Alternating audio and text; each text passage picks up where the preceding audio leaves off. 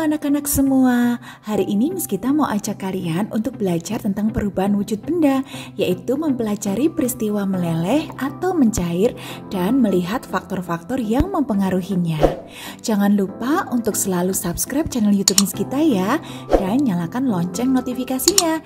Jangan lupa juga untuk selalu like, share, dan juga komen supaya konten YouTube Miss kita selalu bermanfaat bagi semua orang, oke? Okay? Nah, apakah perubahan wujud itu? Perubahan wujud adalah perubahan termodinamika yaitu suhu, volume, dan tekanan pada suatu benda dari satu fase benda ke keadaan yang lain karena adanya peristiwa pelepasan atau penyerapan kalor yang disebut juga dengan energi panas. Perubahan wujud zat dibedakan menjadi dua anak-anak yaitu perubahan kimia dan fisika. Perubahan kimia yaitu perubahan yang menghasilkan zat baru karena mengubah komposisi atau struktur zat yang diubah. Sedangkan perubahan fisika yaitu perubahan yang tanpa disertai terbentuknya zat baru. Hasil perubahan tersebut masih mempunyai sifat yang sama dengan zat awalnya, yang berubah hanyalah bentuk dan ukurannya saja. Nah, jenis-jenis perubahan wujud itu bisa dilihat melalui diagram berikut ini ya. Nah, diagram perubahan wujud ini bisa dilihat berdasarkan dua anak panah yang berbeda warna. Anak panah yang berbeda warna itu mengindikasikan bahwa perubahan wujud itu disertai dengan penyerapan kalor. Sedangkan tanda panah biru menandakan bahwa perubahan wujud tersebut ditandai dengan pelepasan kalor. Contoh, dari cair ke padat. Dari cair ke padat itu melepaskan kalor, disebut dengan membeku. Dari padat ke cair itu menyerap kalor, disebut dengan mencair. Nah, perubahan wujud dari cair ke gas disebut menguap, dan dari gas menuju cair disebut mengembun. Demikian pula halnya dari gas menuju padat. Dari gas berubah menjadi padat disebut mengkristal dan perubahan wujud dari padat menjadi gas disebut menyublim. Nah, itulah uh, skema perubahan wujud dari padat ke gas, gas ke padat, kemudian gas cair, cair ke gas, dan yang terakhir adalah perubahan wujud dari cair ke padat dan padat ke cair. Masing-masing perubahan wujud membutuhkan kalor ataupun melepaskan kalor. Ketika menyerap kalor, maka anak-anak bisa melihat dari tanda panah yang berwarna merah. Ketika uh, perubahan wujud itu melepaskan kalor, anak-anak bisa melihat dari tanda panah yang berwarna biru. Ya, seperti ini.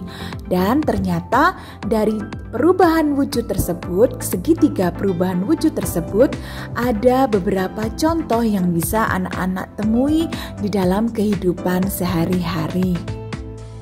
Nah, salah satu perubahan wujud yang akan kita pelajari kali ini adalah perubahan wujud dari padat ke cair yang disebut dengan mencair atau meleleh. Apa itu mencair atau meleleh? Yaitu suatu perubahan wujud dari fase padat ke fase cair. Dalam peristiwa tersebut, zat akan menyerap kalor dari lingkungan. Zat tersebut membutuhkan energi panas. Suatu zat akan mencair ketika zat tersebut suhunya berada pada titik leburnya dan terus menerima kalor sampai seluruh benda tersebut mencair. Istilah mencair itu sebenarnya digunakan untuk uh, es yang berubah menjadi cair atau air, sedangkan meleleh digunakan untuk zat padat selain es yang berubah menjadi cair. Nah, berikut ini adalah tujuan-tujuan dari eksperimen yang akan kita lakukan saat ini. Supaya kalian lebih paham, sekarang kita akan bereksperimen bersama-sama. Let's try! Nah, langkah yang pertama kita akan siapkan alat dan bahannya sebagai berikut, yaitu lilin batangan beserta tempatnya. Kemudian kita membutuhkan sebatang coklat kecil seperti ini ya, coklat batangan bukan coklat biskuit ya, tetapi benar-benar coklat. Kalian bisa pakai apa saja merek coklat. Kemudian margarin atau blue band atau butter ya. Kemudian kita membutuhkan 2 sendok makan yang berukuran besar seperti ini. Kemudian satu sendok uh, teh yang berukuran kecil untuk mengambil sampelnya. Kemudian kita membutuhkan penjepit penjepit kayu seperti ini yang nanti kita akan gunakan untuk menjepit sendok. Tetapi kalau anak-anak tidak punya, dan jangan khawatir ya, kita ada tisu. Jadi anak-anak bisa memegang sendoknya menggunakan tisu. Kemudian kita membutuhkan korek api, ya kalian bisa menggunakan korek api batang atau gas. Lalu stopwatch. Nah ini yang penting. Anak-anak bisa menggunakan HP kalian ya untuk digunakan sebagai stopwatch. Lalu yang terakhir adalah gelas plastik sebagai limbahnya. Nah, langkah yang pertama adalah sebagai berikut. Kita akan kerok ya batang lilin ini secukupnya saja kurang lebih satu sendok makan ya. Kita akan kerok e, batang lilin ini pelan-pelan menggunakan cutter seperti pada contoh ini ya sampai diperoleh kira-kira satu sendok makan. Nah kemudian kita tuangkan ya ke atas sendok makan nah setelah serutan dari batang lilin ini kita letakkan di atas sendok makan maka kita akan menyalakan lilinnya ya. Kemudian kita letakkan batang lilin tersebut di tempat yang sudah disediakan Nah langkah berikutnya kita akan menjepit ujung dari sendok makan menggunakan penjepit dan kita nyalakan stopwatchnya begitu ujung sendok mengenai api lilin. Kita amati benar-benar berapa menit atau berapa detik waktu yang diperlukan seluruh serutan lilin ini meleleh semuanya. Ya, kita perhatikan kalau sudah meleleh semuanya, kita matikan stopwatchnya. Nah, ini hasilnya 44,97 detik. Ya, seluruh serutan dari batang lilin meleleh semua ya. Kemudian kita buang. Nah, kita lihat di bagian bawah sendok apa yang terjadi. Ternyata bawah sendok ya eh, ada jelaga warna hitam. Nah, kemudian kita akan melanjutkan ke langkah yang kedua. Apa yang kalian butuhkan? Yang kalian butuhkan adalah sebatang coklat ya, secukupnya saja, tidak perlu banyak-banyak. Kalian bisa menggunakan coklat merek apa pun, bukan coklat biskuit loh ya, berbeda ya. Kemudian kita letakkan di atas sendok, sendoknya dicepit dan kita akan mulai memanaskan coklatnya. Kita nyalakan stopwatchnya dan kita amati detik demi detik atau menit demi menit sampai keseluruhan permukaan coklat ini meleleh. Nah, kita akan amati dulu apa yang terjadi di detik-detik pertama ketika coklatnya meleleh. Nah, ternyata coklatnya ketika meleleh dia menimbulkan kerak anak-anak ya, menimbulkan kerak di permukaan sendok makan berwarna hitam. Nah, seperti ini coba perhatikan ya. Membentuk kerak kenapa? Karena coklat mengandung gula. Nah, kadar gulanya sangat tinggi. Makanya ketika dipanaskan, gulanya akan mengalami karamelisasi dan membentuk uh, kerak hitam seperti ini. Jadi, Miss rasa ini tidak bisa dilanjutkan lagi ya sampai seluruh permukaan coklat meleleh. Berapa?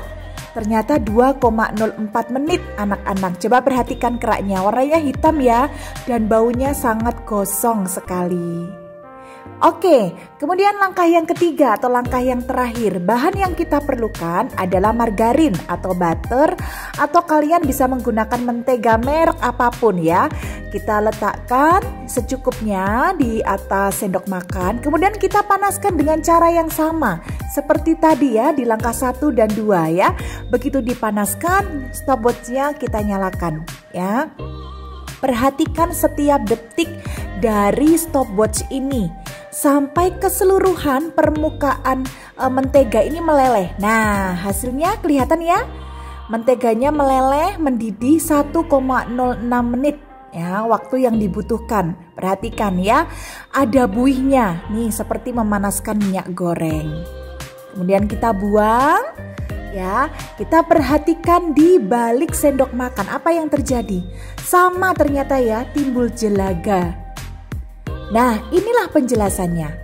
Mencair atau meleleh adalah proses perubahan wujud dari fase padat menjadi fase cair. Ketika benda tersebut sudah mencapai titik lelehnya, maka benda tersebut akan meleleh anak-anak. Nah, benda yang telah mencair atau meleleh sepenuhnya disebut benda cair. Pada proses mencair, benda akan menyerap kalor dan memanfaatkan kalor tersebut untuk mencapai titik lelehnya. Nah, pada eksperimen tersebut, ketika bahan tersebut memiliki perbedaan waktu leleh yang berbeda. Kenapa? Mengapa bisa berbeda-beda waktunya? Karena titik leleh antara mentega, batang coklat, dan lilin juga beda. Semakin tinggi titik lelehnya, maka akan semakin lama pula waktu yang diperlukan suatu zat untuk meleleh atau mencair. Wah, semakin tinggi titik lelehnya, semakin lama waktunya. Nah, menurutmu bahan manakah yang lebih cepat meleleh? Kemudian, bahan manakah yang menurut kalian memiliki titik leleh paling tinggi? Oke, okay, thanks for watching kids and God bless you. Bye bye.